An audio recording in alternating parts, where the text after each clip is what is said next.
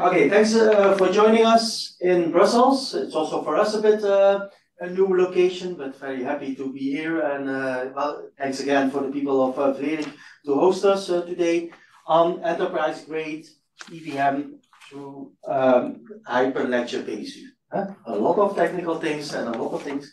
Uh, side event of the EthCC, where we finally gonna speak about enterprise blockchain. Huh? So no crypto, guys. Sorry, more about enterprise things, the real solutions. Okay, just a quick uh, overview. I'm Daniël Du Seuil. I'm a research coordinator at Howest. And at Howest, I, we are seeing beyond obstacles, oh sorry, but uh, um, advertising, creating opportunities, developing talents, raising the bar, inspiring people to realize full potential, challenging people to do things differently. And that's what our focus is of University College of, uh, of uh, West in uh, Bruges, but also in Kortrijk. And today, exceptionally, a bit in Brussels. And we are also a proud member, very proud member of the Hyperledger Belgium uh, uh, group and also a bit of facilitator. So this session is also in uh, looked in this opportunity. I'm the research coordinator of one of the research units in uh, in Howest, Cyber 3 Lab, and we very strongly focus on try to see how small and medium companies, the SMEs, can use cutting edge technology. Uh, because there's a heavy burden on using those kind of things by SMEs. Big companies normally have the access to those information, but if they want to use Web3, AI, cybersecurity, and immersive technology, it's uh, very hard to do that. Huh?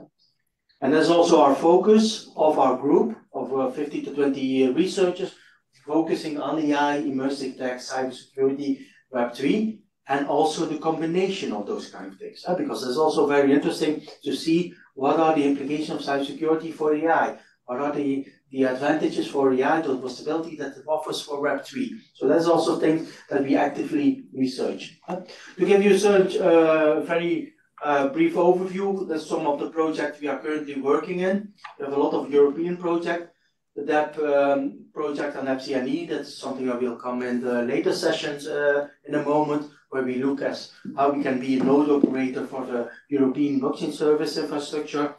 We have done uh, work on blockchain and government, the Blink project. Some project will start is the Excite. So how is the metaverse uh, giving advantages to local governments? So the Cityverse in that sense. So we're also a partner in that more on immersive tech and AI, uh, augmented reality. And we also a partner in the big LSP project, the large scale pilot project of uh, the European Digital Identity Wallet. Uh, so a lot of things that we are trying to cover. We don't only do research, we do also a lot of master classes. So if you're interested, uh, we have a masterclass basic Web3, masterclass secure web, blockchain development and identity. So as a combination university college, we also focus on those kind of things. Today I'm also present, my colleague Patrick will, is also there, Hobby, maybe we wave to the people. And we have also Shane According and Wim uh, actively working on uh, those topics. So reach out uh, to them if you have any questions or anything that you want to uh, discuss uh, or we would also like to have a bit your um, your help because we are currently also trying to see what is our position as a university college? We are thinking, reflecting on, okay, is there a possibility, is there a need for blockchain certification? We have a million tons of uh, courses and um, uh, master classes, but maybe there is also an interest to have some certification. Uh, really prove I am a competent architect, I'm a, uh, a member uh, of this kind of thing. So please, um, we'll be handing over those kind of things and afterwards also giving you some uh, uh, afterwards, Patrick will send you those emails to invite you to a brief summary on uh, if how you see the blockchain certification. Yeah? The same applies to uh, the, all the slides. So all the slides will be sent, but we ask you a small sur uh, survey to ask you what was your impression, what did you go wrong, what did this uh, best way. So please give us some feedback on this. Yeah? Okay, the program I'm on time, behind, uh, before time, that's also good. I already want five minutes. Overloaded program, but I think an interesting program. So the welcome has also already gone. Uh, then um, uh, Hart Montgomery will give you a brief uh, introduction to the new completely new, I think, uh, what is it, one week? Uh, Hyperledger Foundation, or? Well, we haven't, we haven't started yet. Okay, even not, it's brand brand new, even not yet started, so fresh, very fresh. Uh, then we have a session that we have a bit uh, uh, uh, combined in one, where the people of Kaleido will be talking about running Hyperledger Besu in the enterprise, what's new, what's next, and combine also to a very practical uh, approach on uh, privacy for enterprise use cases. Yeah? So a bit combined, but of course uh, there's a lot of more information. Then we jump also into another, another session where we're going to have the, the merging the Diamond proxy and the Beacon proxy for upgradable size limit smart contracts. So that's something that uh, Alberto will share with us. Yeah? So very interesting, I presume a bit technical session, but I don't think that's a problem for this audience. Then uh, I'm going to share something about the European um, uh, project, so the next generation of EBSI. How is the European Union and all the member states uh, reacting on blockchain and what is their ambitions? So also uh, 20 minutes with some Q&A. And then uh, our last speaker, uh, Miguel will be going to Alastria Red and the Public Permission Blockchain Consortium, also on Hyperledger Besu. Yeah? Uh, we foresee also that those talks will be 20 minutes but of course, if you have any questions, we also foresee five minutes Q&A. But if you have an, uh, an urgent question, please let us know. We are not that big. We are expecting some more people, but please interact. Please have everything. And at the end, of course, we would like to invite you to our network uh, approach and connect and stay with. Uh, we need to leave the building at nine maybe you need to leave the building for watch the football game. You know who is playing against Spain with all the Spanish people in these already there. So at nine we're gonna close uh, the meeting. Huh? Okay. I hope you enjoyed your evening, full loaded, full of information. But at the end you will be rewarded by a small reception. Okay. The first speaker. Right. Oh, you have also a clicker?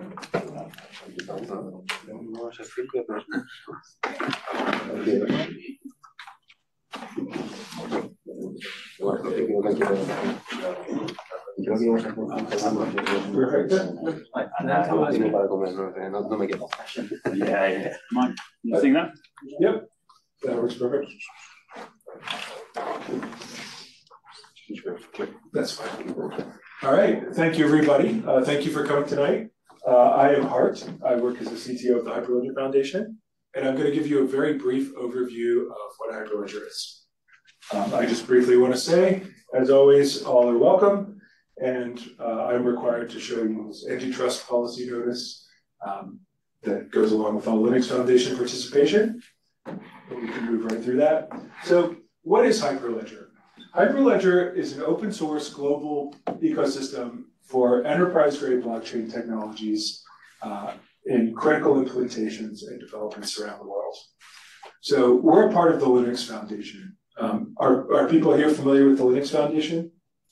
Everybody familiar you know, the Linux kernel, Kubernetes, uh, automotive grade Linux, uh, Academy Software Foundation. That's a, a fun one if, if, you're not familiar with it. Um, but as a sub-foundation of the Linux Foundation, uh, we enable developers, enterprises, and organizers to collaboratively develop uh, in the open. And we, of course, inherit all of the open source principles and transparency and open governance from the Linux Foundation. Um, and in summary, we believe that open source, open development, and open governance are the future of decentralized technologies we don't believe in, say, you know, having centralized governance for decentralized software. It just doesn't inherently make sense. And when we see a lot of uh, projects that are ostensibly open source, we encourage you to ask if they're also openly governed. So what do we do as a foundation, as a staff? We serve as a neutral third-party home for code standards and sometimes even data collaborations uh, between different entities who may not fully trust one another. Uh, and we're backed by the most trusted legal framework, and we have a fantastic staff that have been working in open source for some time. So sort of the goal of Hyperledger and the Linux Foundation are if you want to collaborate on open development and you want others to use and contribute to your code base, this is sort of the problem that we solve. Um, so, you know, these numbers aren't totally up to date, but we have a really massive effort worldwide. Um, and we've been doing blockchain since sort of the very beginning, and this doesn't have some of the most recent projects on it that we've got in 2024. Uh, but you know, we've been doing open blockchain since almost anyone really. And what a lot of people don't know, and I apologize how this color is showing up on the screen, um, is Hyperledger has been involved with Ethereum for quite some time. I don't know, do people here remember Hyperledger Burrow? Does anyone remember that? So that was a really cool project. Uh, it was, I think, actually too far ahead of its time, uh, that it was essentially a modular EVM that you could use with a number of different blockchains. Um, and you know that happened uh, all the way back in 2017. Um, but you know we've had a lot of collaboration and work with Ethereum and the Ethereum Foundation since then, uh, including the EEA joining, uh, the EF joining, and of course, uh, as everyone will tell you today, uh, about Besu. Um, so very briefly, the goals for the meetup. I hope you all get to learn a lot about Besu today. And importantly, I hope everyone can explore possible opportunities for collaboration. So how can you get what you want out of the community? Um, is, are people here on the Discord? So definitely, if you're not on the Discord, I encourage you to join. Uh, we have a lot of different ways to get involved if you're interested in the community or learning more.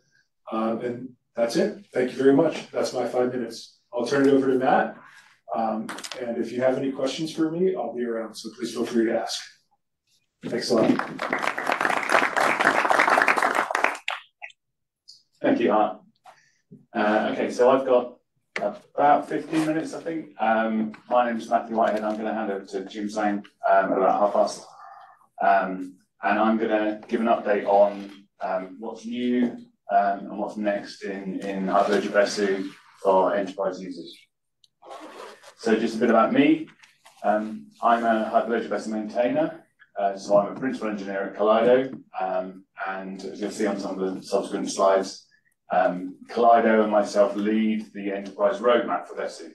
So you'll see a lot of me on, on Discord um, discussing, well, we actually have now a, a, an enterprise specific channel on the, on the Besu section of Discord where we talk about enterprise specific requirements and features. I work very closely with the main um, open source project leads, largely from the Consensys organization, um, to shape um, where the public and the enterprise um, roadmaps are going, um, how they relate to each other, and what we have in common, what things we're going to work on separately, and so on. Um, so Kaleido um, uh, is a Web3 technology company. Um, we, we do a whole, whole number of Web3 oriented technologies. Uh, we have an asset platform. In this context, the, the kind of most relevant things that we do specifically around Besu are we um, have a um, uh, packaging of Besu, both for hosted and self-hosted environments, where we take given Besu releases, um, we uh, validate them, we add SBOMs to them, we test them uh, to a greater extent than the, the regular Besu releases are tested in the, the open source releases. Um, and then we make those available as, as part of our offering. So um, Kaleido has been heavily involved in Besu, who've been running nodes um, on our platform for several years now. Um, and now, um, with our leadership of the, the enterprise roadmap for Besu, we're kind of driving it um, even more forward. Um, I'm going to think I'm, I'm going to skip a few slides because I'm a little short of time. Um, I suspect most people here kind of um, have a good understanding for why Besu is particularly good for um, the enterprise its, its growth in the public chain, even though that's very public, public chain oriented, is a really good kind of part of that story for enterprises. It shows that it's being matured, it shows that it's being well used and exercised, and products are being ironed out by all the kind of home users and people running validators on mainnet. Um, and as that as that ratio continues to grow, um, the combination of that with all the things that permission change like like QBFT, um, account permissioning, no permissioning, those sorts of features um, makes a really good fit for, for enterprises. It also has a very permissive license, being 2 licensed, um, and so on. So I mentioned the Besu roadmap. Um, I'd encourage anyone here to go and look at the Besu roadmap. It's on the Besu wiki. And what we've done as part of having the public and the permissioned or enterprise focused features being developed in parallel is we've separated out the, the roadmap so that you can see um, what are the things that are coming next for Besu, what's being worked on right now, what's work in progress, what's been implemented and released recently, um, so we're trying to make sure that the, the public and the enterprise roadmaps move along. And this is the part, the, um, the enterprise roadmap that, that I lead. Um, so I would also encourage you to come chat to me here on Discord, elsewhere, and talk to me about features you think um, should be um, kind of delivering for enterprise use cases.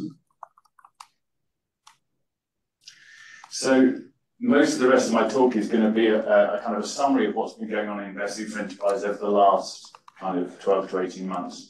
Um, and then at the end, I'm going to talk mainly about that side on the right-hand side, talk about the things that are being actively worked on at the moment. But this hopefully gives you an idea for, I guess, the amount that's gone into Besu in the last kind of 12 months worth of releases, um, why they've gone in, why they've been relevant features to, to be worked on, um, I've got a slide. The main things are the, the, two middle ones. They've got most of the interesting content that I'm going to talk to. So I've got about one slide for each of those, those items. Um, it's probably worth mentioning some of the stuff that was late last year. So um, we introduced a transaction pool that was much more focused on enterprise use cases. It was an evolution of what was the, the only pool, but the, the public main the public chain pool um, really really had different requirements to enterprises.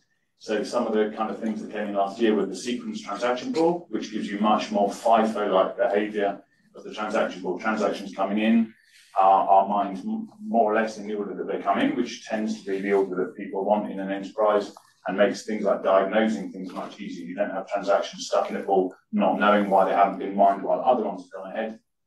Um, and a whole load of work was done partly through the, the engagement of, of companies like Kaleido with a lot of production customers, ironing out issues you only hit at high performance, issues you only hit with stability when you're running for a long time, those sorts of things.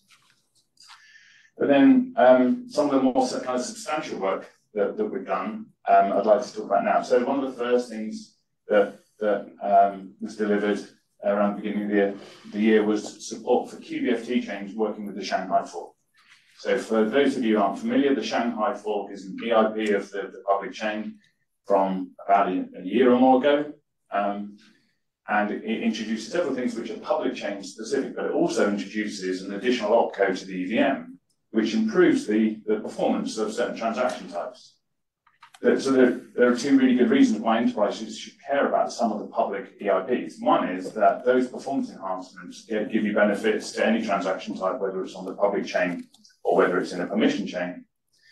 But secondly, the ecosystem that developers are using in your application teams, they move along with the public chain.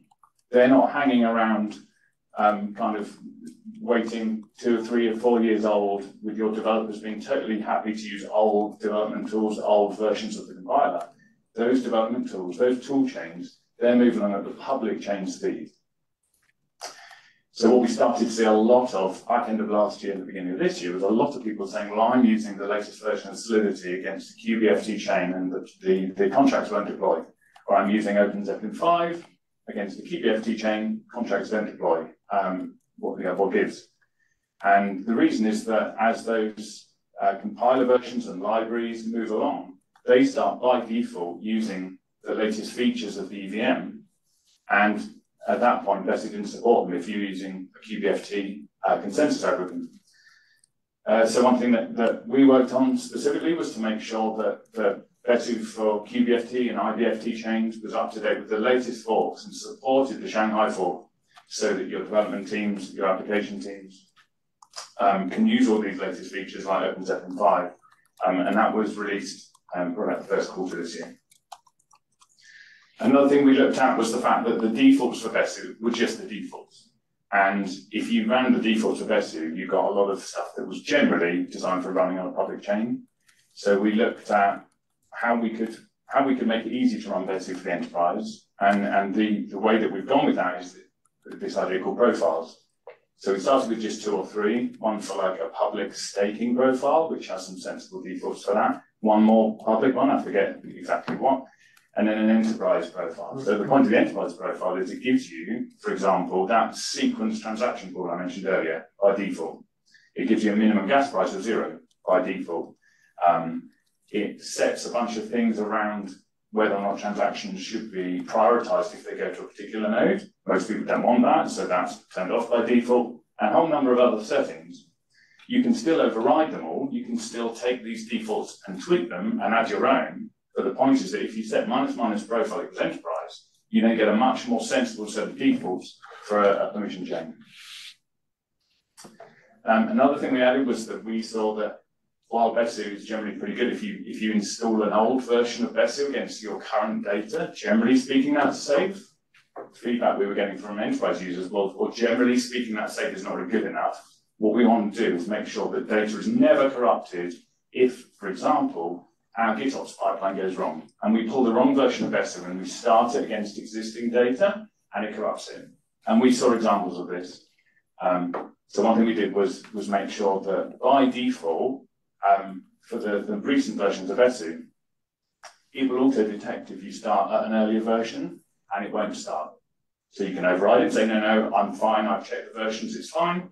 Um, or you create a new data directory and create a brand new node. But by default, it will, will fail to start. And it's much more preferable to starting and corrupting your data. So we wanted to make sure that there was a, there was kind of that behavior by default for enterprise users. And again, a lot of these features you don't find turned on by default for some of the public uh, settings. Then, um, most recently, this was delivered into the main line of, of Besu about a week ago um, by ourselves. And again, this is this is sort of a bit of work which brings permission chains to parity with public chains. Um, but with the introduction of the Bonsai database, which is much better suited to pruning data over time, and gives you lower read times for state from the world state tree. And SnapSync, which gives you much faster sync times when you add a node into your network. Again, that's that combination of QBFT and the Bonsai database and SnapSync had never really been invested in by the community. Um, you could turn them all on, and there was nothing that stopped you turning them all on, and it didn't really work. Um, and in fact, some work was done very early in the year to stop people starting if you turn them all on, because actually the community rails they just don't work. Um, now, Bonsai database has these, these benefits, and it's the future database for Besu. Besu will be removing the forest database at some point in the future, and Bonsai is the, the direction of travel for Besu. So it's really important that, that we at least start getting uh, good Bonsai support for permission chains. Likewise, SnapSync is going to be the way you sync anything that isn't kind of an archive node in the future. FastSync, which is a bit like kind of SnapSync, that's again going to be deprecated as Besu moves away from that, which was kind of a stopgap syncing protocol.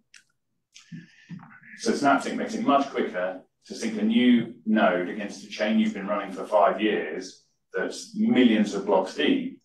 Um, and what we've done is make sure that the work has been done to ensure that you can now use QBFT with the Bonsai database, with SnapSync, and it all works out of the box. And that includes a kind of a whole number of edge cases that you wouldn't expect if you're a public chain user. A lot of the work we had to do was things like if you do SnapSync against a chain and that chain hasn't got any accounts in it, no one invested with Cody for that case because everything's talking to the public chain, like millions of accounts. Lots of those edge cases, I've started a new chain just to develop against. It's got no state. A lot of the SnapSync didn't expect there to be no state, so it just didn't function so there were whole, whole kind of edge cases, loose ends to tie up, testing to add, that now means that you can use this combination, get much quicker sync times when you add nodes to your, to your network, and you're now using all the technologies that Besu is, is kind of going in the direction of, is, is the kind of the strategic direction for Besu. Uh, just a bit of detail, um, how you turn some of these things on, you'll, you'll get these slides, as, as they said afterwards. Um, but you, you have to turn on SnapSync server on all the nodes that are going to serve SnapSync data. That's also experimental. And this, this feature, I should say, is marked as experimental just while we let the dust settle and iron out any bugs. Um, this is how you turn it on. And you, you, typically want to reduce the number of peers that, that the node expects, because again, on the public chain, you can find 25 peers very easily. So default of five is fine. Um, but in some chains, if you're just running one node, two nodes, then typically you're going to reduce that number. And then um, one of the last things I'm going to talk about is that we spend a lot of time, we run nodes, we have customers running nodes through our um, self-hosted platform. Diagnosing issues in Besu has not always been great, particularly around QBFT chains, particularly around when chains stall. And a lot of the cases were, were complicated to diagnose because not many people had kind of gone to the time to work out, well, what's, the, what's really going to help when I'm in this situation? And a really good example of that is a school, a stall chain. So if you have four QBFT nodes, you always need three of those at any one time to keep producing blocks. And in the case where you go down to two, what you see is no new blocks are produced, no transactions can be mined. But in the logs, you see nothing, really. You see an absence of stuff. You see these blocks were produced, and then four minutes goes by while this situation was recovered. Nothing, nothing in there. You could turn on debug, you could turn on trace. You probably needed to do that on all the nodes, or at least some of them, to see whether they're talking to each other, which ones are offline. The QBFT protocol is quite complicated. It goes through this increasing rounds where all of the nodes have to get to the same round in order to agree on a new block. You don't get told any of that in a useful way. Um, um, and again, from, from the pain that we've seen customers experience diagnosing this, we, we looked at what can we do to make it much clearer what's going on in a network when this happens. So now, again, this was merged to me about a week ago. What you see is the same situation, two nodes go offline, and then this actually pops out information about the QBFT logic. So it says, well, this, this uh, node has now gone through QBFT round one, which has expired, and is going to move on to round two. And it's going to tell you how long round two will take until it expires. But it's also going to log out the nodes it's talking to and which rounds those are at. And again, remember, they have to get to the same round for them to agree on a new block. So we can see that initially there were just two, two nodes all moving up through the rounds. And then a third node joins in finally. Someone's restarted the node, recovered the network, but it's back at round one, and that's how QBFT works. But from this one node, without turning on trace or, or debug, I can see over time how these new nodes, these nodes as they come back online, are converging on a round that means blocks are going to be produced again. You can see the top example, we've got a fourth node just joined in, that's great. So again, I can just look at the logs of this one node and see stuff is progressing. I don't need to go on to log on to other nodes um, to see what they're doing. I can just see what they're doing from this one node. And now eventually they all reach an agreed round, round six. Hey, the next log is we're, we're producing blocks again. Um, so these kinds of things might seem kind of simple, but when it when it comes to what's beneficial to enterprise users, and I skipped over the first slide about me, I spent nearly 20 years working for IBM on, on enterprise messaging. So I had a lot of experience of where, where a small amount of work can really make your life easier as an operator, as someone de debugging issues. Some of these, these areas really, really make your life easier. And then finally, just a quick update on performance. One thing we've heard from customers is, is what, what's best doing for performance. One thing that we've spent time on is looking at, well, what, what is the state of play for performance? And this paper from 2022 um, kind of came to the 400 TPS is achievable without too much work.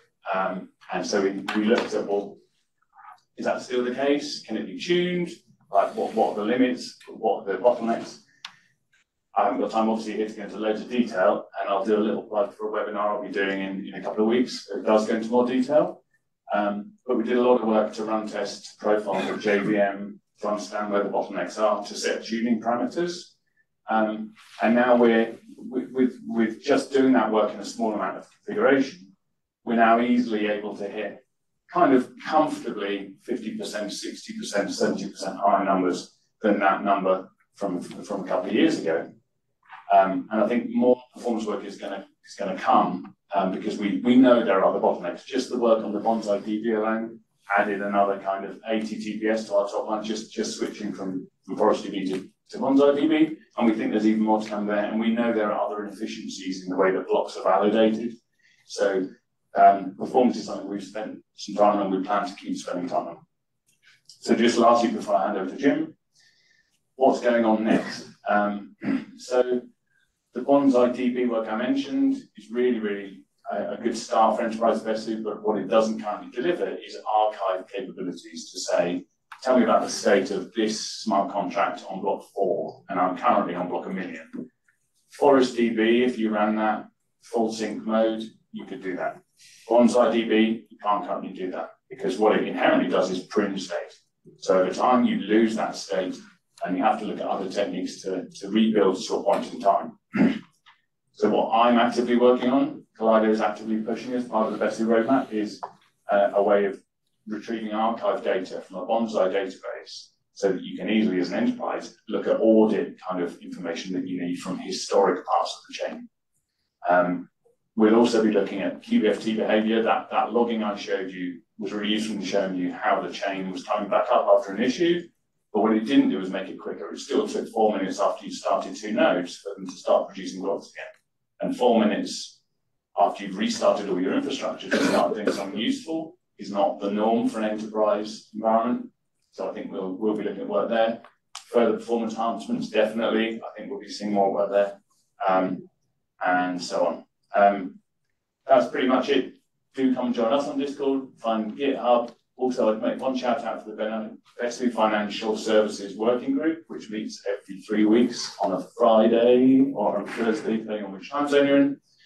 I think Hart is probably the best person to get people in contact with that, or me, or yeah, we can find you links to, to join those calls hosted by DTCC, who are chairing that working group.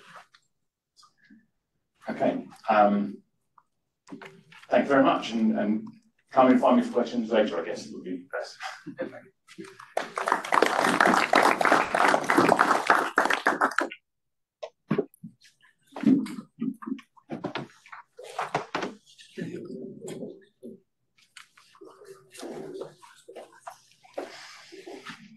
everybody. Uh, I'm Jim, uh, one of the co-founders of Kaleido um, and head of protocol at the company. Um, so today I'm gonna, I'm gonna talk about um, the new project that we just contributed to Hyperledger Labs. It's part of a journey for us to do a uh, more significant contribution. Uh, as some of you may know, we are the creator of a Hyperledger project called Firefly, which is focused on the off-chain components to make uh, building blockchain-based uh, solutions easier to do. Uh, this is another significant contribution we are planning to do, and Zeto, uh, this project uh, as part of Hyperledger Labs, is the first step. and this is all focusing on privacy, as some of you have already been doing with um, BESU or even any EVM protocol may know, uh, there's no built-in uh, uh, support for privacy. Uh, Tessera was an early attempt to have a privacy on on BESU or other EVM protocols, but it's got its issues. Um, one of the biggest issue with the approach that Tessera does is you can't really run the token uh, design on this privacy model. So we need something more that works at the, uh, at the uh, EVM level uh, and gives you all the abilities you need, Uh, regardless of what kind of solutions you're building. Uh, specifically for tokens, uh, which is really hard to do because by necessity, a token economy must be fully decentralized so that the entire supply of the token must be seen by every node. But at the same time, you need to hide everything. So how, how do we do that? So that's what this project is uh, for. Uh, um, so as you can see, this was contributed to Hyperledger Labs already. Um, so if you are, uh, you know, after after today, if you are uh, interested to give it a, a, try, you can go there and uh, try out the tutorial yourself. So what exactly are we doing? Um, in terms of privacy, these are the four, uh, three things we need to achieve. First, confidentiality, uh, confidentiality is about hiding things. So when you send transactions to the chain, you're not you're not declaring I'm sending a million dollars uh, to Matt, right? That, that's how we do things today. Uh, we need to hide that. We also need to hide the uh, the ownership. So if people can see uh, that Jim is sending something to Matt, even though they can't see the, the amount, that's still not good for privacy purposes. And what's also very important is programmability. Uh, can we do other things on top of the privacy tokens? Can we do DVP from one token to another? That's very important for enterprise use cases. And finally, uh, we added this number four as part of this uh, project, which is uh, we need options, right? It's not like it's within the enterprise space, it's, it's never a one size fits all uh, situation. Uh, every use case has a bit of uh, different requirements on privacy. So we need uh, privacy options. Before we get into exactly how Zeto works, uh, it's a we want to do a comparison between different approaches to building privacy tokens. In general, you can build it in one of two ways. Either you can follow the current uh, ERC20, ERC721, which is account model. what's maintained on chain is is a giant map, basically. You have account uh, addresses and you have balances. You can do this uh, with privacy by essentially um, um, encrypting the balance. So it's an encrypted balance rather than balancing the clear. And you can also, uh, using fancy cryptography, you can also do math on the ciphertext. So that's um, that's all can be done. Uh, and if you have looked into this space, uh, existing solutions like Anonymous Zether, uh, that's built on this model.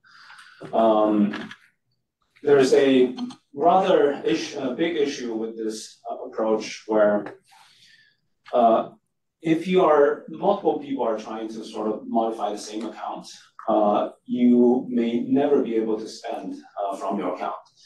Why this is the case is um, it so anonymous Zether uh, is based on uh, generating a proof to show that I know my balance, you don't know it, and when I'm sending uh, some value to another person, uh, I'm proving that I have enough in my account to support that transfer.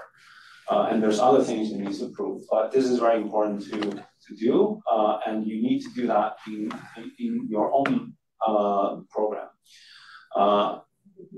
the problem with this is if before your transaction gets uh, mined by the node, if someone else sends you even a penny, right, or a dollar, and that transaction gets uh, into the chain before your transaction, then your balance would have been uh, modified on the chain, which means the proof you just generated was going to be invalid.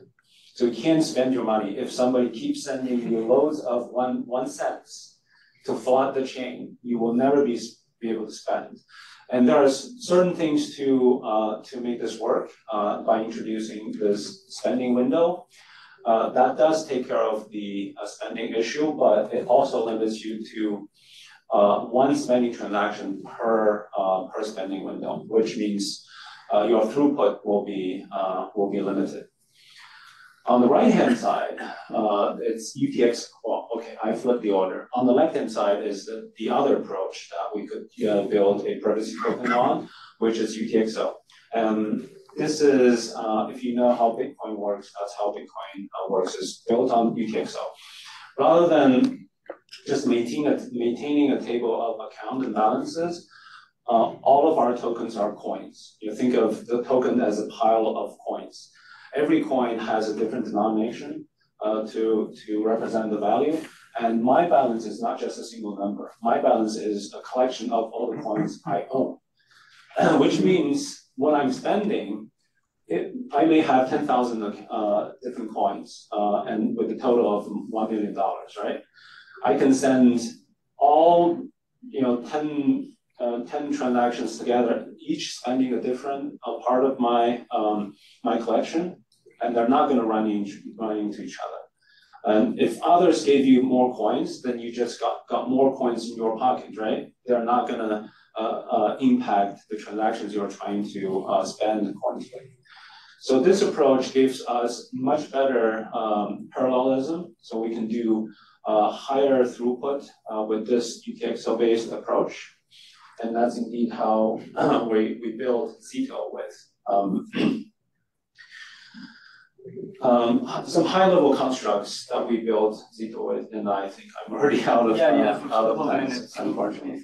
Maybe uh, one or two minutes. Um, so the basic constructs of UTXO, uh, with Zeto is um, this is how UTXO works, right? So with Bitcoin, if you look at the ledger, it's just these collection of UTXOs. Every UTXO has a spending condition that basically says you have to prove that you are Alice by signing something. You have to prove you're Bob uh, so that you can spend these coins. And each represents a different value. So you can see the balance of Bob is if you add those two, which is 15.8, uh, and balance of Alice is 0.1. Obviously, for privacy purposes, we need to hide those, right? Nobody should uh, be able to see how much I have. So a great way of hiding things is doing a hash. So we're hashing all of these uh, values plus the public key of the owner plus a salt. So now uh, on the ledger uh, for the smart contract maintaining the, the tokens, all you see are a whole bunch of uh, uh, hashes. And hash is a great function because you can't work backwards to see what they represent. Um, so these achieved uh, confidentiality. Uh, now the problem is when you send a transaction to a chain, you're you're spending you're spending a bunch of hashes and you're producing a bunch of hashes. How would the uh, smart contract know you your transaction represents an honest transaction? How do you convince the smart contract? So that's where knowledge proof comes in. Uh, it's a very advanced cryptography approach uh, that we don't have time to uh, get into today. But understand that this is based on 40 years of research. Uh, and if you want to know how it works, you can talk to Hart. He's a cryptographer uh, by trade uh, from Stanford. Um, so it, it basically it, it's um, it's a proof that shows to the smart contract that against those hashes, you can be uh, you can be uh, certain that those hashes, hashes represent uh, a honest transaction, and that's guaranteed by math. Uh, so it's um, knowledge proof sounds uh, really complex, really fancy, but it's actually a very mature technology, and it's actually used in many many Web3 projects. So I don't have any time to go into the details of the circuit designs. Um, just to know that this is a toolkit that gives you a lot of uh, choices for different use cases. Uh, sometimes you want uh, on-chain encryption, uh, sometimes you don't. Uh, you may want uh, hiding the trading history or you don't. so you can choose to use nullifier or not, no nullifiers. There's fungible token, non-fungible tokens, and there's also DVPs that can be built on the uh, on top of this in terms of pro, uh, programmability. So I'll skip all of that and just leave you with this. Uh, all this information is in the repository, so you're welcome to either go to this uh, QR code or just go to Hyperledger Labs and find the code there. And if you have any questions or feedback, uh, welcome to come talk to us where uh, we have our dedicated um, Discord channel uh, as well. Thank you. Are there any questions before I time Alberto can uh, install himself? Are there any questions for Matt of uh, Jim? Anybody is brave enough to, to ask for a question? Don't raise your hand. No, reach out to them. Uh, they will be here the next presentation.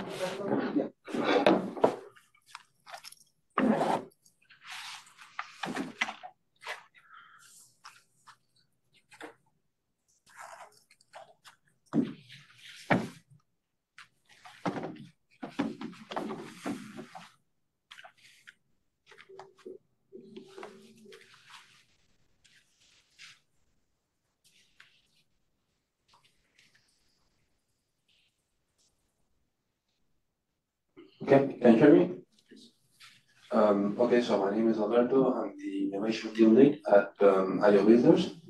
Um, I joined my company a couple of years ago, and the uh, blockchain industry for that matter. Uh, before that, I used to be a software developer for more than 10 years. Uh, so my presentation is going, to be a little bit technical, but not too much, I promise.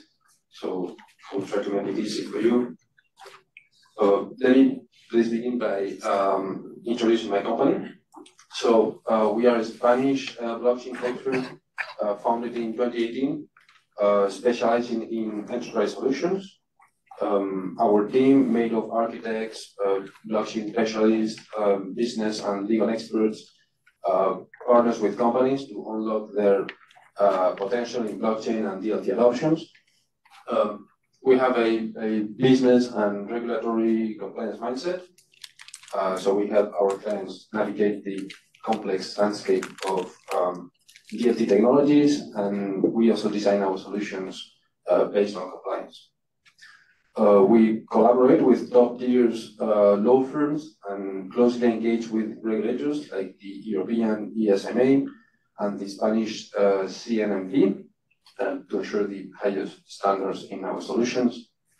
Um, innovation is embedded in our DNA uh, as we are constantly exploring new technologies to transform and evolve specific markets. And um, so finally, some numbers about the company. So we have uh, collaborated with more than 30 clients worldwide, uh, delivering more than 50 projects, and um, currently we employ around 80 employees. Okay, so this is how we'll structure uh, uh, my presentation today. So first, um, we will see what was a business requirement that we got. Um, after that, we will have a look at the um, things that uh, we can and we cannot do uh, within the EVM, so some restrictions it has um, when it comes to deploying smart contracts. Um, then we will go through the uh, thinking process that we carry out to find the best solution, which was basically first we try to reuse the patterns that already exist, um, and then we saw we, there was a reason why they didn't work for us. Will present that, and finally the most interesting part of the presentation will be the uh, pattern that we had to come up with in order to solve our uh, requirement. So the business requirement. Um, so uh, we received, like I said, business requirement, uh, which was to uh, deploy and manage um, independent equities and bonds on chain. Um, so all equities would follow the same business rules, and the same would happen for bonds. Um, so technically speaking, uh, the requirement would translate to uh, deploying multiple independent items on chain with identical functionality. So like clones of each other, many of them. Um, although in our particular case, uh, the context was finance, uh, the same requirement could actually be applied to uh, multiple other domains, as, as you can see there. So, uh, for instance, in insurances, we could have like car insurances on the one hand and life insurances on the other. So all car insurances would work in the same way. Obviously, the data of the specific insurance would change from one to the other, the behavior behind that insurance would be the same. Um, on real estate, you also have the same uh, situation, which is you can have state shares and loans. Again, they all behave the same way. It's just the data that change from one to the other. So it's a very common business requirement that anybody working on blockchain at some point will have to face. Okay, so the business requirement was like our goal, and now, um, so the smart contract restriction, those are like the rules of the games that we respect in order to be able to uh, find a solution. Um, so the EVM imposes um, mainly a couple of restrictions uh, on the smart contracts. Uh, immutability and maximum size. So first, uh, uh, let's talk about immutability. Uh, so once we deploy a smart contract, we cannot change its logic. This is to ensure, obviously, security, uh, but it also means that we cannot fix errors or extend uh, the functionality of the contract.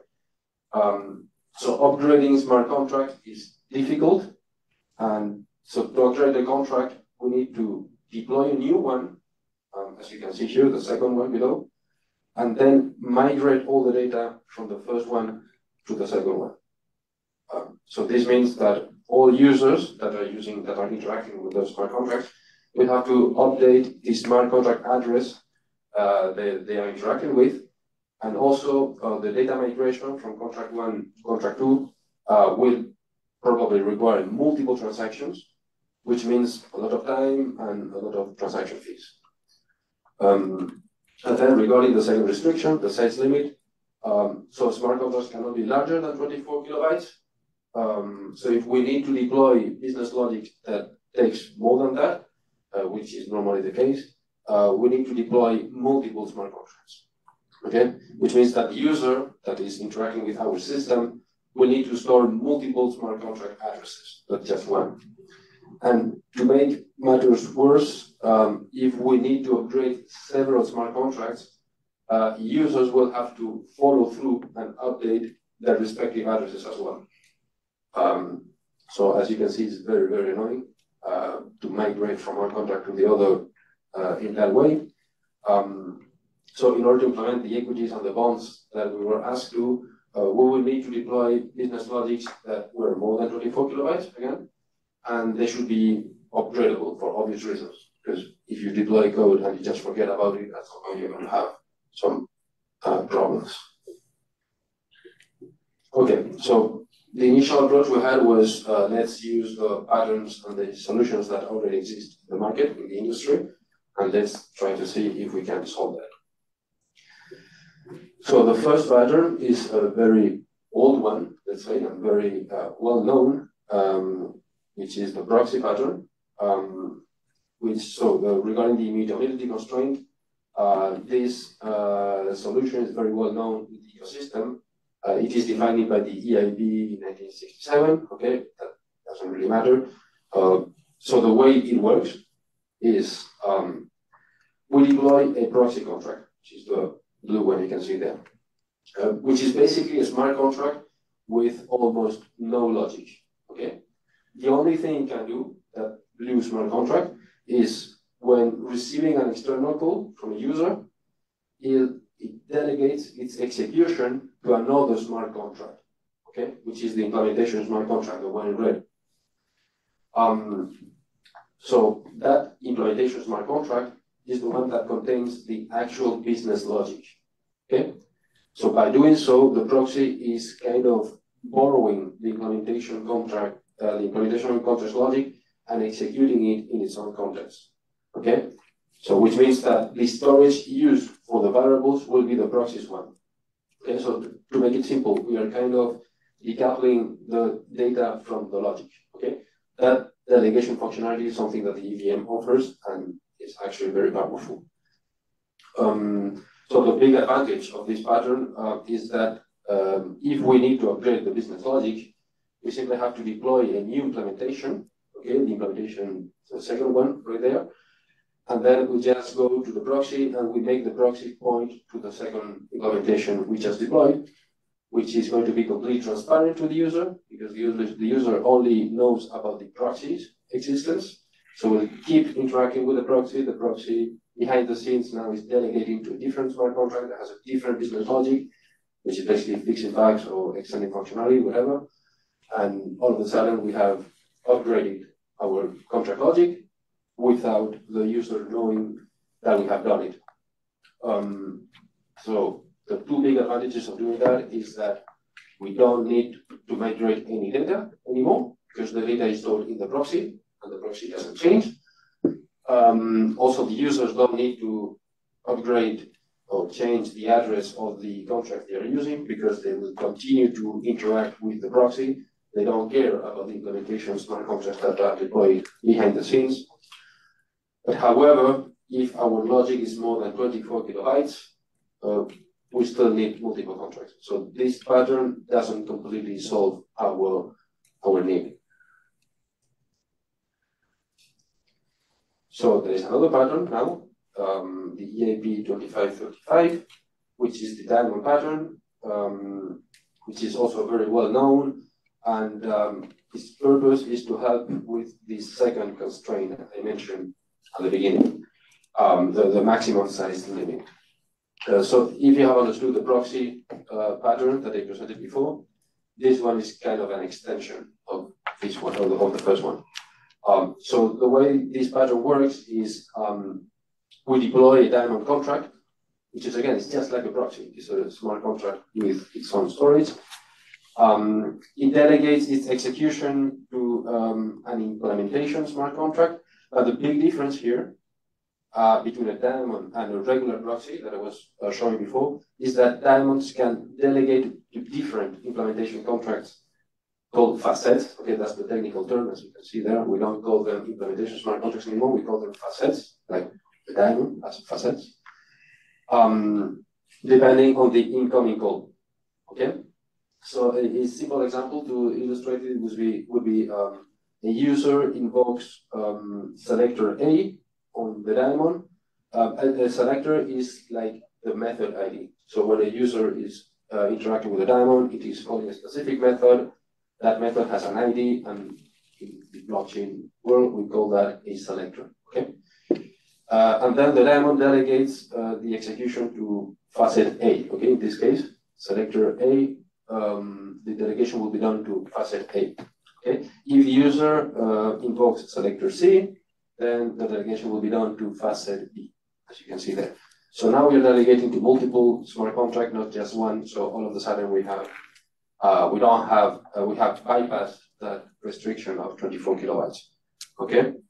Um, so we are kind of encapsulating in a single diamond contract uh, an unlimited amount of business logic, okay, way beyond those 24 kilobytes restriction. And uh, when we need to upgrade some business logic, uh, we will proceed just like for the proxies. So we will change the facets contract address uh, within the diamond, and we are good to go. So we deploy facet A2, and we just go to the diamond, we upgrade the address of facet A, and that's it, completely transparent to the user. So as a consequence of this, uh, the users do not need to store multiple addresses anymore. They just need to store the address of the diamond, and all of a sudden they have access to an unlimited amount of business logic. And whenever anything is upgraded, the user is completely transparent to it. Okay. So if we dive in a little bit more into the inner workings of the diamond, um, so like I said before, the diamond is like a proxy because it delegates execution, uh, but it contains kind of a mapping table, okay, that maps input selectors to output facets, okay, and some logic related to the mapping table. So we have, it is actually divided in, in two different functionalities, the loupe and the cut. So the loupe functionality is all the code uh, required to match a selector of an incoming request with its corresponding facet contract address, okay? So once the facet is determined, the, uh, the um, diamond delegates that facet. The cut functionality, the one in red here, um, is all the code that is required to manage the mapping table, like adding new selectors, new facets, so it's a functionality that we use when we are upgrading uh, the diamond. Okay, so obviously the uh, loupe functionality is normally open to everybody, is public, anybody can access it, whereas the cut functionality is, is protected. It's available only to authorized people because they can change the business logic behind the smart contracts. Okay, so all that is, so the two patterns that I presented so far, they are very interesting. They help us uh, bypass the two restrictions that I presented at the beginning, which was uh, the immutability and the size limit. Um, but there is a new issue that, another issue, sorry, that I didn't mention so far, um, which is that what do we do when we have multiple clones? So, so far I've been talking about just one proxy with its implementation of one, one diamond with multiple facets. But our business requirement, if you uh, remember, was deploying multiple equities or bonds. And in this scenario, one equity will correspond to one diamond. So if we are deploying thousands of equities, we will deploy thousands of diamonds. And uh, if we need to upgrade them, it will require thousands of transactions, which is obviously not doable. Okay, so there are actually a bunch of um, problems with that. Um, like for instance, there would be a higher maintenance cost because upgrading the proxies one by one, like I said, means submitting a transaction for each of them, which leads to paying multiple times the transaction fees. Um, there is also a lack of consistency risk uh, because without a unified pattern, ensuring consistent behavior um, and updates across all contracts uh, becomes challenging. So it could happen that we forget or, or fail to update some proxies, in which case we will have a few hundred proxies updated and the others would not be updated, and that can be a problem. Uh, another disadvantage will be the increased deployment cost.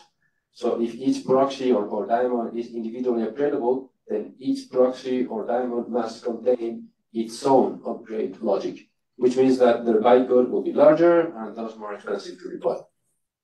There can also be some synchronization challenges. So since each item is upgraded individually uh, until the whole process is done, some of them will still point to the old implementation contract, uh, which leads to lack of synchronization. There is also reduced transparency.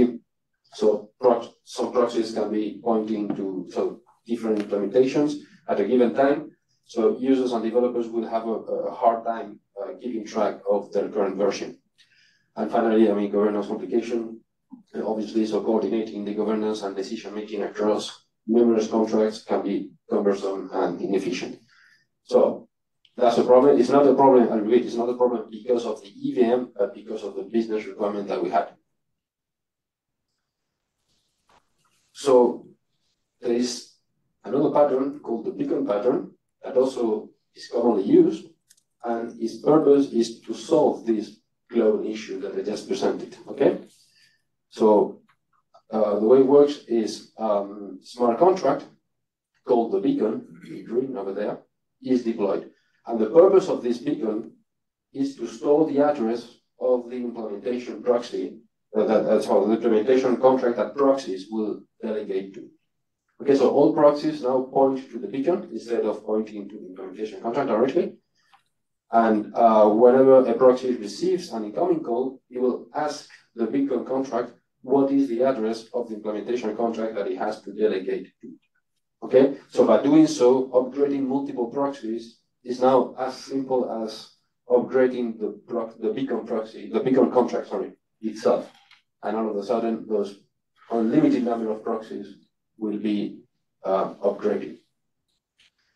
Um, so that beacon pattern is useful for proxies, but it didn't exist. So the same thing for daemons doesn't exist, didn't exist. So we had to kind of come up with that um, solution ourselves. And we called it the resolver pattern. And as you can see, it's very, very similar to the beacon one. So, so again, so just following that beacon approach, um, which again, it applies only to regular proxies, uh, we came up with that with this solution, with this with the resolver pattern. So the way it works is um, a contract called the resolver is deployed, and all, all diamonds point to it. And uh, when they receive an incoming call, they will ask the resolver what is the facet uh, that must be used for that specific selector. Um, the resolver then returns the facet address, and the diamond delegates to it. So again, the very the, the same thing that uh, we do with with with beacons. Um, but the main difference with the beacon pattern is that resolvers will return a different address depending on the selector they get as an argument. Okay? And now just that, so let's look a bit more in detail uh, what the resolver contains. So it is basically the same logic that a regular diamond has, um, so again, the diamond loupe logic that returns the facet address for a specific selector. Um, that, that's the method uh, that diamonds will invoke when they receive an incoming call. And the resolver will look for the facet address in the mapping table, return it, uh, then the diamond will uh, delegate to it, which is the fifth step. Um, so as you can see, in a nutshell, uh, what we have done is extract all the diamond-related functionality from the diamonds themselves and put it in the resolver and make it accessible for all the smart contracts. And that's pretty much it. I think right on time, right? Okay, so do you have any questions? What is the status of this solution? Has it already been used and tested? Yes, or? we have already used it and deployed on a Hyperledger test uh, network and also on a different EVM compatible network called Hedera, because this solution applies to all EVM um, blockchains. So yes, we have already tested it and used it. It has also been audited because it was part of one project and the whole project was audited, so this solution was also part of it. And yeah, so in a couple of places we are using it. Yeah. I was a bit late to the show, so sorry if my question was already answered before. Um, but doesn't this centralize quite a lot in a usually decentralized solution? Completely. It's yes, that's basically what we're doing. So this solution, the here you can see the slide, the resolver is centralizing that, yes. So obviously, I mean, there is some risks if the person in control, so the person that has access to the diamond cut functionality over here, that admin is in full control of, of the business logic behind all the diamonds. Uh, but at the end of the day, um, all those diamonds, the, so this functionality, this diamond cut functionality is also part of the diamonds, even if you deploy them individually. So that admin of that diamond will also be in control of the business logic behind that. So there will also always be someone in control of the, the, the business logic behind the diamond contract. The only difference here is that is one admin. When I say one admin, it can be actually five of them. You know, you can say you can use a multi-sig uh, account for that. Uh, but by centralizing it in one single place, the big advantage is that with one transaction, you upgrade all of them, and the benefits are way more uh, larger, let's say, bigger than the disadvantages. The question? Okay. Thank you very much. Okay, maybe on the lighter side of the story, less uh, technical uh, presentations or technicalities. Um, I want to discuss a bit what is Europe doing? What is the European Commission with all the member states and the public sector doing in this space? What are we doing with Hyperledger Besu?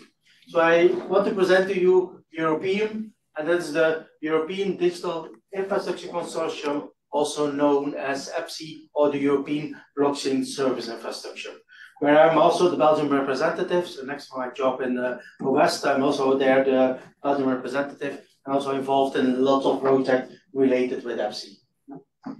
Now, if you look at what Europe wants to do, Europe has lost a lot of battles, has lost a lot of uh, things about technology, if you compare it to US, and they don't want to make the same mistake. And they have identified some cutting edge technologies that are also the base for the new digital society of tomorrow. You see quantum, you see microcomputing, you see 5G, and they also identified blockchain as one of the key technologies that will be the fundamental of other things. Because in that new digital society, the rules will be different. The rules will be about data spaces, about security. So that layer is on top of those cutting edge technologies.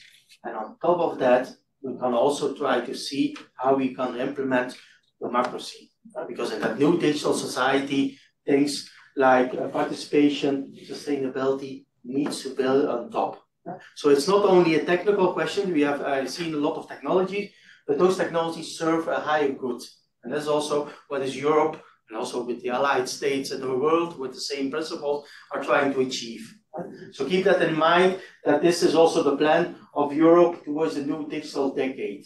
It's not only technical guys doing things, it is a higher perspective.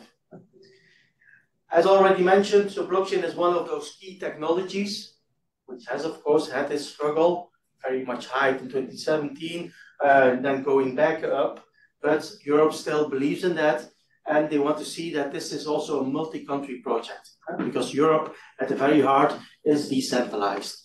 You cannot have one centralized solution ruling all. You have a complex ecosystem with a lot of member states, a lot of organizations, public, private, society. So by default, you need to think on the decentralized way. And that's also why this technology is very useful and now why they want to invest in those kind now, a bit into contradiction, what Hart is uh, what mentioned is indeed ask your question if you want to implement something decentralized, is there also a decentralized governance model? Yeah? In Europe, you have a bit of problem that if you want to implement something in production, you need to have something that is liable. Which is the organization that's liable for those kind? And in Europe, we don't have a real answer in those kind of things. So they created something new, and they called it a bit the digital uh, European Digital Infrastructure Consortium is to try to see if you have those decentralized infrastructure, who's going to manage it? Because it's not one member state that rule them all. It is a bunch of member states, but they still need an organization to have those decentralized governance plays in the world. So it's a bit in contradiction, but to be liable to do those kind of things, you also need that. But of course, not something on one organization that's on top of it. It's a decentralized organization. So that is important, and a bit Belgian pride in this and kind of thing. Belgium also took a bit the initiative to try to see, okay, the things that we are working on blockchain with different member states, let's try to organize it and create a public sector blockchain. Now, the people of the conference uh, couple of months ago would kill me to say, okay, we need a permission like blockchain and it needs to be public sector uh, driven. But this also try to see how we can uh, try to transform the public services into using those kind of technology. Yeah? And of course, this European initiative will not be the only blockchain that will exist, yeah? but it's a gateway let the member states, public services enter the Web3 spaces huh? and then secure a bit way and also a bit controlled way in that. 10 countries have engaged to form that new European digital infrastructure, what we have called a, a European XEPSI. As you see, there's different countries, and those are the, the, first 10. We need to evolve to more, 24 and so on, 27, but you see that every country in Europe is a part of that new organization. There's already a lot of countries that also want to participate. We have also requests today from Canada, from Ukraine, also, also Taiwan, and also uh, the natural states that a bit uh, in alliance. Try to see can we build this thing together and also govern this thing together. Now, the philosophy of this uh, project is to see it's about decentralization. Yeah? So we want to add, of course, added value. We see that the world is more getting more and more complex. So you need even in public sector, in public services, new solutions. The things that we have built today with uh, registries, with services, it doesn't work anymore because you need to have scalable. It's getting more and more complex with more and more interactions. So we deem that this technology needs to be embraced by the public sector so that uh, we have the best technology. And to be issued it with, I, of course, not have any personal risk in this kind of thing. And that's also why this isn't being implemented. Yeah? So the project also relies, of course, on uh, a good, stable uh, infrastructure, and we have created this infrastructure based on Hyperledger Besu. Now, it is what is providing is a multi-domain trust infrastructure providing between actors that are equal, that are not uh, aligned to each other, that have no hierarchy, but want to share things. So we want to have transparency in all what we do on public sector, and of course some of the most interesting aspects. And we want to provide data spaces also. The information that we share, how can we put that also in new technology, not in having centralized silos, but also providing data spaces on valuable information that can be shared. And of course, very important, and is also the reason why we implemented our own infrastructure, is that we need to comply with EU values and regulations. And that also needs to be controlled. And we come into that in a moment. But GDPR, eIDAS, all those kind of regulation, also the other ones that are coming uh, more and more on data space and all those kind of things, are the very heart of this. And then, of course, there's a real reason why there's a section of people, the government uh, aspect, public sector, wanted to create a new infrastructure based on their rules, based on their governance model. Yeah? But of course, serving the public sector. Now, what is our uh, overall architecture? Very easy in that sense. Uh, the EBSI ledger or the Hyperledger Besu implementation is the foundation and the base of everything. And build on that, we try to have specifications and try to have frameworks like here the verified credentials profile that we try to uh, try to define and try to agree on. Because that is the most difficult part. You can have an infrastructure, but you need to agree on technical and functional level. How do you deal with those kind of things? What kind of technical standards do you follow? What we don't do, because it's not uh, our job, and we look at it in the private sector, is the wallet and all the applications that are provided for business users. And so it wants to be the road, but uh, all the traffic, all the things, the, the, the cars and all those kind of things are something that we expect from the private sector. Uh, So there's also a, uh, lot of conversation, a lot of discussion. Yeah, we don't want to provide an end-to-end solution. It's something a layer, a public good that can be used by other people. Classical example of the these are these uh, decentralized identity aspects where we have issuers and verifiers, and in that sense, we try to see that the public services can act as issuers, so provide all the government documents to us that the uh, to us as citizens and the holders, but provide also mean so that the, those documents can be easily verified without going into um, uh, checking by the verified by the issuer. uh. So blockchain plays here a small role, yeah, but an essential role. uh, And all. And this kind of model also inspired, that is also important, the EIDAS uh, regulation. So the European Digital Identity Wallet was a classical solution, state government, state driven, If you try to implement it in a way that it's getting inspired by these concepts. That's also the reason why we do that. Not only the UDI that's inspired in this, digital product passport, the other big project, flag page project, is also getting inspired by the decentralized concepts, by the Web3 kind of thing. Uh, you see a, a movement in Europe, slowly but steadily, that's embracing the decentralized technology concepts. So as mentioned, I, we need to have uh, alignment with the regulations of Europe. So also EIDAS and UDI also a place in this kind of thing. Uh, that sounds easy, but it's not easy. Because you have to comply to a lot of regulations. It's Europe, uh, as you know. Uh, Europe puts a lot of weight into regulation. We need to, need to comply. Okay, how, what does this mean? huh? What does it mean for our infrastructure to be legally compliant, GDPR approved, to be EIDAS approved, all those kind of things. So a lot of regulation that we need to take into consideration in our governance model. The project itself something that evolved from the commission, is now transferred to the member states, but it's supported by a lot of projects that are trying to deploy a lot of service and, and deploy capabilities. yeah. So the Digital Europe program, so funding program, is also trying to see, okay, can we have multiple projects that develop uh, uh, in uh, business cases or develop capabilities or deploy certain activities. So you need to see this as not a project, it's a multitude of projects that are related. uh. The most important one are the currently large scale pilots for the for the uh, decentralized identity or uh, UDI to be clear. That is the European Digital Wallet Consortium and the Digital Credential for Europe. uh. They want to implement the decentralized identity rated with the European MAPSI into the new wallets that Europe will provide. But a lot of other projects, like EBSI Vector, EBSI NE, and EBSI Trace is trying to develop more and more. So that's multi-million uh, project, try to deploy it, try to have more uh, power into this aspect.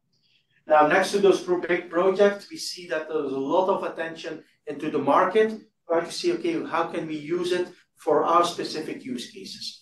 So those are plus uh, twenty-five projects, mostly on the verification of documents, because that was uh, the most, I, uh, first uh, use case, but also on traceability, verification of products, and verification of legal entities. Again, this is not the ambition to be the only blockchain or the only ledger, but all things that are related with public sector have a place here, a neutral place to deploy it and to be used by a broader audience of products. So uh, we see also a lot of wallet providers that are looking, okay, can we link it to uh, EBSI? Can we link it to Alastria, what comes in a moment? Link it to ID Union? So there's a multitude of those kind of things. And also link it, of course, to the public, uh, uh, public chain. huh? And try to see that it's easy access for the public sector. huh? On a general level, but I'm not a technical guy, I, classical, I think, hopefully classical, but uh, correct me if I'm wrong. Uh, but it's of course an Hyperledger Besu uh, architecture where we have an infrastructure layer, but also nodes and also external uh, capabilities that needs to be deployed. Yeah, so at the very heart, I, I tried also to be very active in the Hyperledger um, community, try to see how we can deploy this. Because we see this also as a big deployment and try to look at what kind of components do we need in that aspect. Now, what is a network today? So we have that uh, European Commission infrastructure for operation, currently deployed in, uh, uh, in Amazon, but try to see. But of course, uh, we are mainly looking at uh, three private uh, environments, three public environments, where we have deployment tests and pilot production and production grade. Yeah, so a lot of uh, instantiations are going. Now we, evolve from in the pilot network because we have a lot of testing. And it's also hard to go to production, not on a technical level, only on a legal level. So gradually we go into production, but also we need the ethic to do that. Now, of course, this is only the beginning, huh? because uh, little things like activity has been done. But if we go, it's currently also going to five million euro, uh, five million, uh, million of the citizens that will be using uh, potentially this uh, application. Now, what is uh, the live maps? This is your geographic application. You also see OS at the first one. Um, we also a node provider. It is a limited. It's not like Ethereum that everybody can host a node. It's again in our governance model that public uh, um, service countries endorse the application of the node. Uh, but they do that together, and we hope to see a very diverse uh, uh geographically dispersion all over Europe. It's not that we need thousands of nodes. So again, uh, happy to, um, thanks to the hyperledger Besu, this is a controlled way in that sense.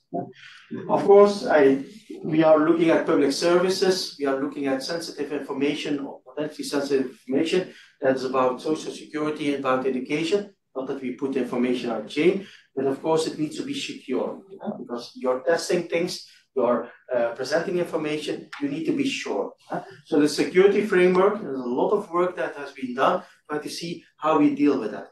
Not specific hyperledger data, but you need to keep that in mind, try to see that those kind of things. So a lot of uh, people, a big part of those uh, of our resources are going into cybersecurity and security aspects.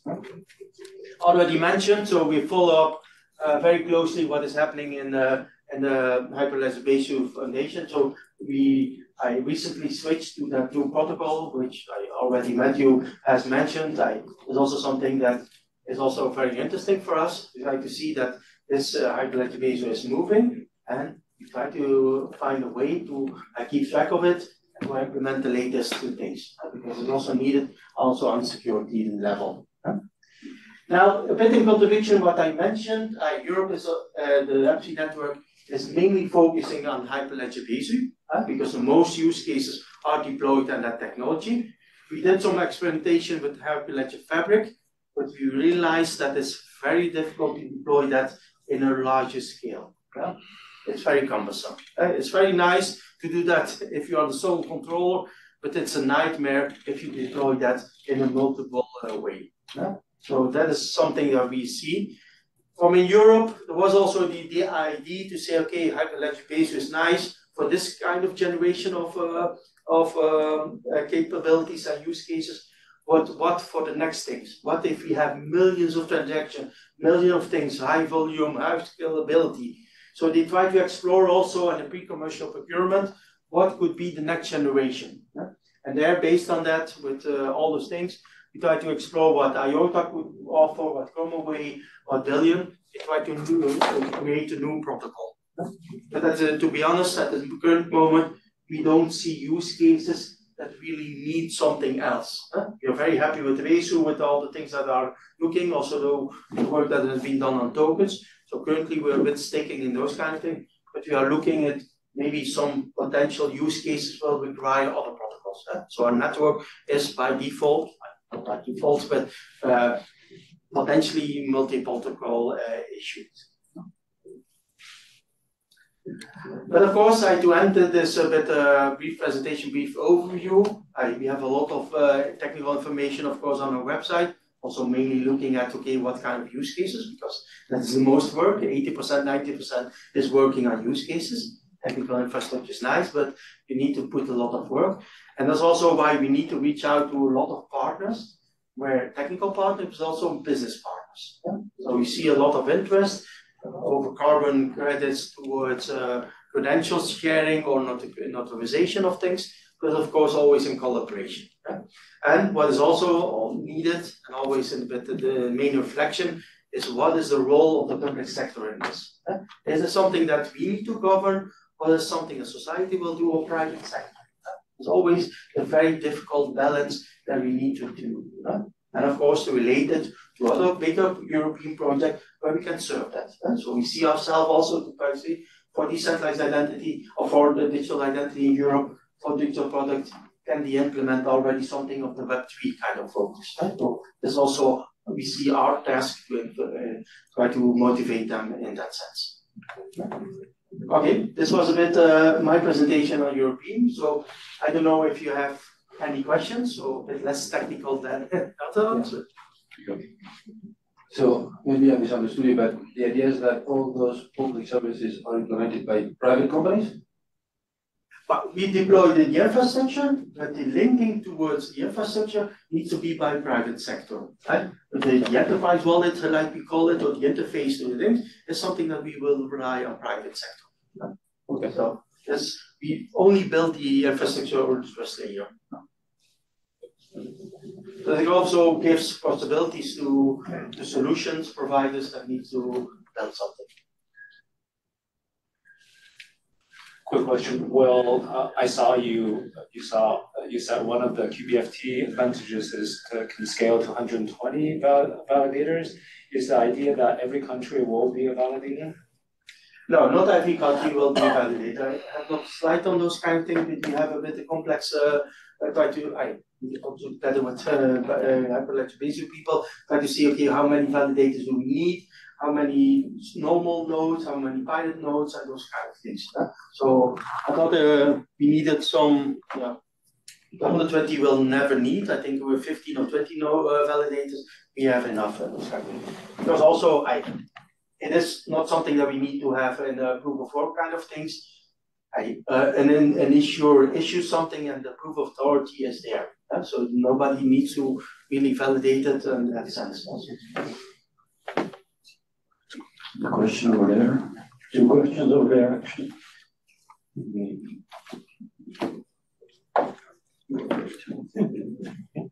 It's just an opinion, but I believe that um, the wallet part should be um, considered infrastructure because as you see where things are going, um, nowadays people build uh, like apps on MetaMask and so forth. So basically applications on top of wallets and wallets becomes infrastructure with all the financial details, but also all the private details. And so it, uh, it's possible then to make applications that are natively uh, GDPR compliant or whatever compliant. Um, and at least everyone would have like uh, yeah, some wallet infrastructure to develop. So I think that's something that should be taken up by the private sector, but at least by um, yeah, indeed. And that's something that big discussion and reflection, where do you put that perspective? The only thing that, that we wanted to decouple that is to say it's not our responsibility, we are not in control of those kind of things. But you need to have indeed ways to do those kind of things. So I, it's a difficult discussion, but uh, we want to because the, the, wallet is also digital identity, it's passports, it's all those things. So you really want to own that Indeed, but that, is, that comes indeed to a bit of a difficult uh, discussion that we have today with our colleagues of the European Digital Identity Wallet, because they see it slightly different. They see something that is issued by the member states and hard linked with your base identity. So you have a Belgian wallet with your Belgian identity and it's linked together. So they can revoke it, they can take it. And that's not the model that we want to do, those kind of things. So it is a hard discussion at this moment. We are a bit in hybrid status at this moment. They are using decentralized things, but also using a lot of centralized components. So we hope to see that in an evolved way. But there's also a bit of discussion, who will be the wallet provider? Your idea to say, okay, you need an infrastructure that's also claimed by society, or do we see providers, banking uh, offering of wallets? That's not clear what kind of uh, go, I can go in the wrong direction or the right direction. I'm not saying what is the wrong or the right direction in that sense, but it is a risk. Related to that question, how much do you actually weigh on the decision process in the EU? In the EU, if you look at eIDAS, for example, like with the identity, there are a lot of options. Digital product passport, I heard the commission say it's going to be a decentralized solution but they don't say it's going to be built on blockchain infrastructure. No. Do you expect to see that happen anytime? that they will make a clear choice because it will still make it much easier to actually do something on blockchain. The problem is that Commission and the public sector will, wants to be neutral in every way. They want to stay virgin technology by default, by ever. So they will never choose anything. And that's very hard uh, to say, okay, you need to have those kind of solutions because say, no, no, we need to be neutral in those kind of things. That is difficult. On the other hand, I, I see that a lot of decentralized concepts are already in that kind of thing. You will never have a digital product passport without a decentralized approach. Yeah? The, the, European Digital Identity Wallet, if you look at the political matches, it's also about decentralization. But how you will implement it, you will have a constant struggle in those kind of? Nobody is saying to say, okay, it's already centralized. There are different forces. And we are already happy that they are seeing this as a hybrid wallet. That's a, a, the first victory. But I think they will struggle with their kind of things into uh, in the next five years. That people don't have privacy, that is controlled, that you have risk. So I hope that they set uh, directly also the step towards those kind of things.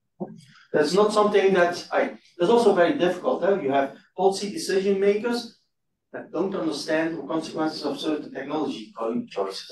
So there's also very, uh, you see that the eIDAS uh, working group is a very very technical group. Huh? And even the policymakers that don't understand, that don't understand what, what are the things that they say. You see a lot of lobbyists and, and that kind of things. Huh? No. Okay. Yeah, regarding uh, um, in the last uh, amendment, amendment of the eIDAS 2 was introduced specifically qualified electronic ledgers. So it's a mention probably no regulator, no legislator want to be attached to a specific um, you know, technology, but as we know, that implies blockchain. In yeah, but if you give a bit history, it was first written, then removed, and then rewritten. Yeah, yeah, that's. So that took a lot of work because they want to say, no, we're not writing anything about technology. That is a specific solution. And we mentioned, no, this is not a specific, this is a complete other approach that you are yeah. So luckily, I, there is also included, but there's a constant struggle in that sense. Because I, with all due respect, they always make the connotation blockchain is crypto, crypto is bad, crypto is scamming. Yeah? We sometimes also, that's also why we mention decentralized identity and not blockchain technology. Sorry guys, that's a, that is a bit the reality that we face. Huh? Next speaker. Okay, thank you very much. So I put you back.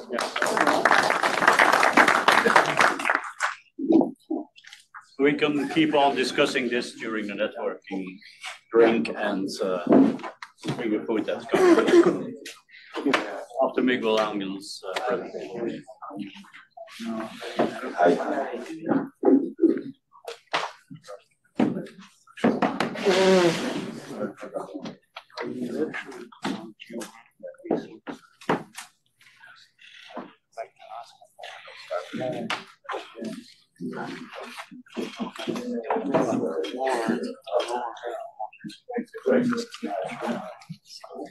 Hi, hi.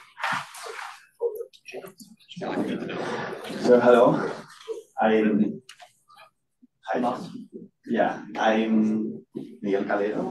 Okay, I'm Miguel Calero. I'm the lead of emerging technologies at Izertis, that is the company I work for but also board member of Alastria. Right now, I'm here with the Alastria Hub. Um, um, yeah, I'm board member of Alastria because Uh, also, I've been um, serial entrepreneur. I've, been, I've started five times uh, companies, then I have one exit. And yeah, and I have yeah, you have my handle uh, a handle for Twitter, Instagram, Telegram, any other social network. I have enough, I mean, I have old to, to choose my, my username and, and then my email address. Okay. Um, in that case, we are a almost 2,000 people company, uh, really growing fast and, and public company. So you can see all our figures. And, and the emerging technologies group that, that I lead we build digital products uh, with emerging technologies, that meaning blockchain, AI, and quantum. That is, yeah, good things. Um, both in the research and development uh, um, area and in the market area. So we, try to build that products and put them in the market. Specifically regarding and connected to European um, EBSI, one of the products that we have released, and it's open source for non-commercial users, is Identify. It's a wallet that is compatible with uh, EBSI, Alastria, LACChain, with uh, right now adapting it to Polygon, and you can see the code and uh, get more knowledge about um, the approach of the probably European Commission because we are working also in some of the largest scale pilots projects in the European at the European scale. That's it. Alastria, that is um, uh, the reason here. Um, it's uh, um, it's one of the largest public permission networks right now. I probably yeah, I see all over the world um, globally. Uh, it was probably the first one inspired inspired blockchain that is in the Latam area, and it was prior to to EBSI. Um, it's built. Okay. Um, Alastria is also an association in Spain uh, with the aim to you know democratize access to technology, to blockchain technology, and, and strengthen and foster a public-private ecosystem um, around blockchain. Okay, um, you are gonna get access to the to the presentation, so there's more information there. Um, we are more than five uh, hundred members, that including half of the members being SMEs the other half uh, being corporates or public sector. Um, some of the members that are participating in, the, in that association, but also in the networks are Santander, Telefonica, uh, Repsol, really corporates based in, in Spain. Uh, and all of them, all of us, we are participating in equal uh, circumstances. Um, we have not six, 60 use case. We have two, two blockchain networks. More, more figures about that. Um, and that's built on the basis of competition. So we have uh, partners collaborating in infrastructure, partners collaborating in standards. Uh, we have a standard similar to the um, uh, SIF or right now IRF or you know, eIDAS2 that is called Alastria We've been working on that standard for the last thing five years, something like that. And it's open, so all the members we collaborate at the infrastructure and, and standard levels, and then we compete um, for smart contracts and services to, to our customers. Okay. Um, in that case, we choose 2019 to build up what we call then a public permission network. So it's a permission network that everybody can see what is happening there. Uh, at that time, I think it's were um, a really innovative, probably um, concept. Right now, it's really well adopted, so no, nothing new. Uh, we have right now two networks. Yeah, we have two networks right now. One based on Quorum, we collaborated uh, with JP Morgan, Chase, and then ConsenSys.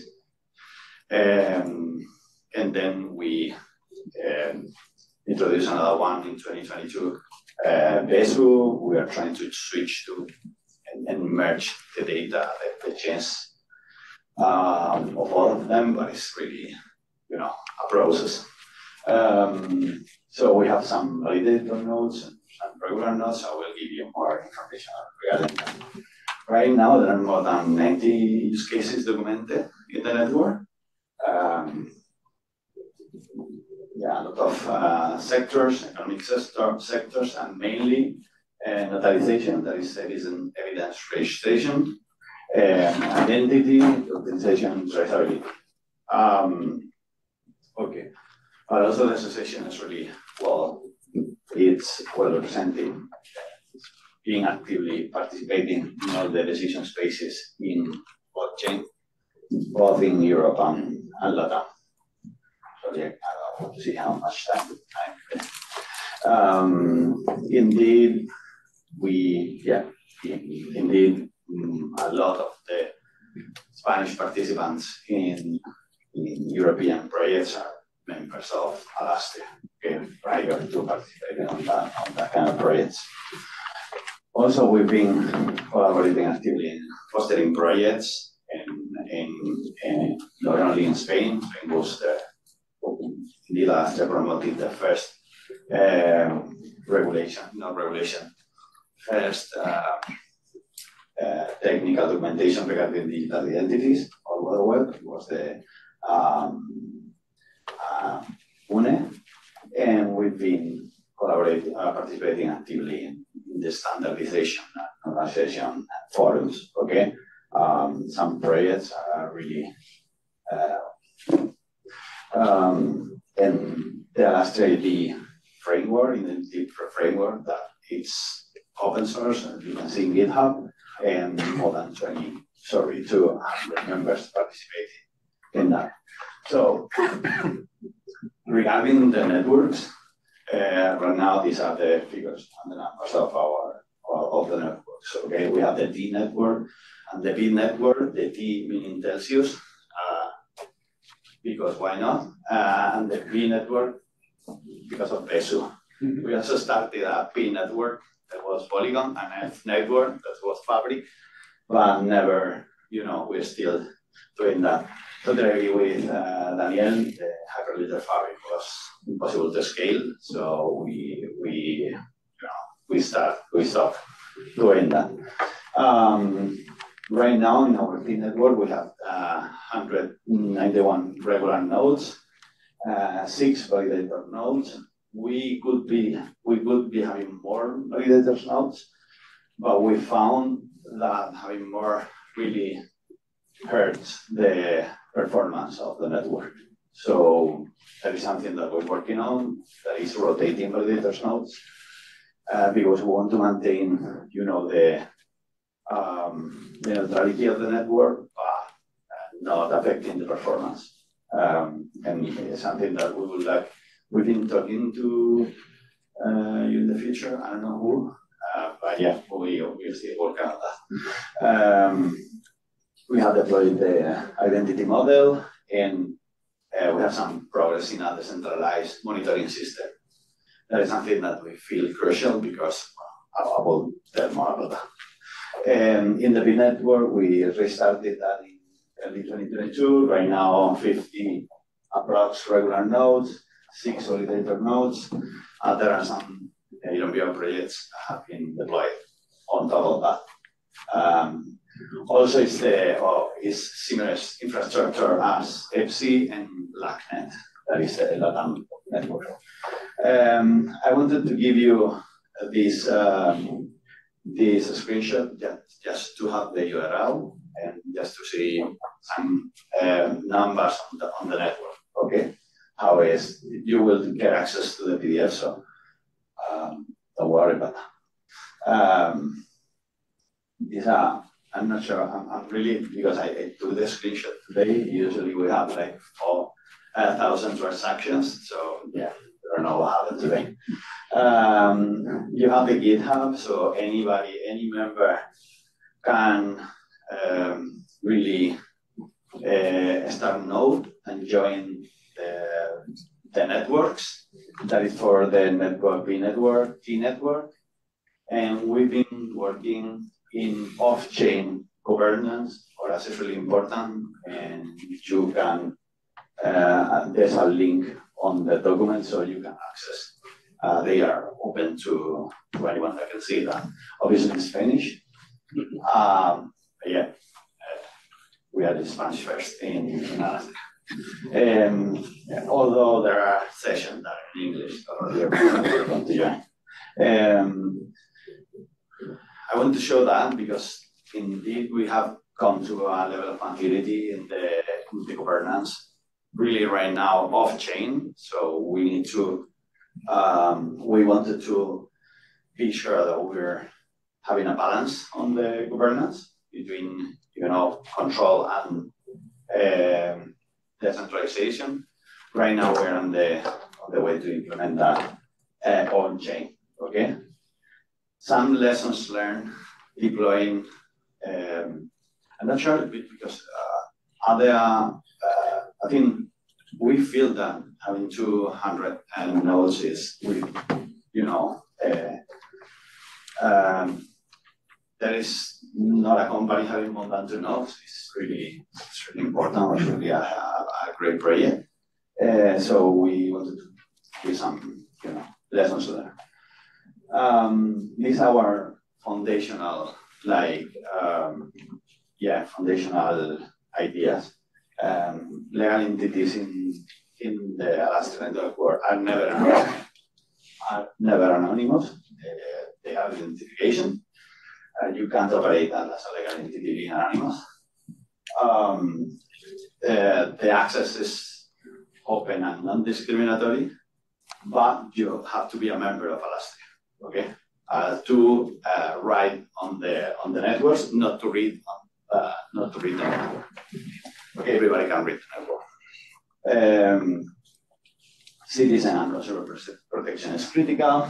Uh, the governance needs to be open and inclusive, and we should try to be as sustainable and eco-friendly as uh, as possible. Um, we needed a Byzantine uh, failed uh, consensus algorithms. That is, you know, when you have such a, a, a number of, of Daniel, uh, I'm not sure if right now the QBFT is supporting such an amount of uh, validator nodes. I'm not seeing, and when, I, you put the, the performance, you show four validator nodes. What we have tested it behind six is really affecting the performance. I don't know if you are, yeah, yeah, you can, okay. because I, I was amazed about the number of validator nodes, but I think that the performance is hurt uh, exponentially with the number of of, uh, of validator nodes. Okay, um, so we don't need that we have uh, permission access to write. So uh, for us, it's okay to limit the number of nodes to six. Okay, but the problem is that um, yeah, the problem is that I'm gonna go here. The problem is that if one validator node crashes or if one validator node is stuck, um, there is no way to rotate that. So we can have a compromised validator node and not being able to remove that except if we do it manually. In the, this is going to be a recorded. Yeah. Okay, so I will tell you when we are not on record. Uh, some problems that some issues that we have, and the other uh, I've deleted that from the presentation. Um, yeah, more details about that. Um, the question is, right now we're working on having validator nodes and having um, standby validator nodes. So they are operated from different uh, entities, companies, members of Alastria, and you can rotate validator nodes between them. Not only in a basis of backup, but on a regular basis. So there is no way that um, a company or a potential attacker can know if a validator node is going to be validating uh, for, for a long time. Okay? Um, this is something that we are, uh, okay, and we need to automate um, putting nodes in quarantine. Uh, we have learned that when you have such amount of uh, companies operating nodes, uh, you need a way to do that automatically. Um, so there's nobody telling a company you need to shut down your node or putting them away from the from the network. To make it. Not sure if right now it's possible to do that, but uh, yeah, we're working on that. Um, and the other question is that we are working on a decentralized monitoring tool so we can, um, you know, uh, push out, Can I say that, push out, or, you know, um, it's isolate a node from the network if it's not given the proper service. Um, so yeah, uh, I will give you some the the the, the details here, but you, can ask. Uh, we usually um, um, have meetings and technology strategy committees. Um, this is some of the questions in the, in the last one. Um, status, work in progress. We are trying to engage with a lot of different providers so we can make more interoperability in the network and implement some or you know make some experiments and innovate as we have done in the past. And this is some of the of the things we're working on. Also, implementations of monitoring and explorers and so on. Uh, regularly, we need to add additional ones. Um, and then this is a figure of a denial of service. Um, uh, I need to uh, more details of the record. And yeah, some other things that I wanted to talk about later. Um, yeah. Okay. Anyway, um, thank you very much. If you want to join Alastria, um, you're open to, to join us and, and check more information there. Um, okay, thank you very much for your attention.